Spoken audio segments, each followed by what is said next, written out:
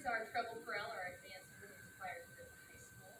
Uh, they've been very, very busy along with city singers this semester because they not only have to prepare for this concert, but currently both choirs are participating in the world premiere of a symphony, which will be performed November third at Valparaiso University. We will be singing with seven other high school students, a combination of two hundred uh, high school choir students all together to Johan de Meij's Symphony Number no. Five, which is based off of Lord of the Rings. They were learning to sing a six-movement symphony in Elfish on top of everything they've been preparing for this.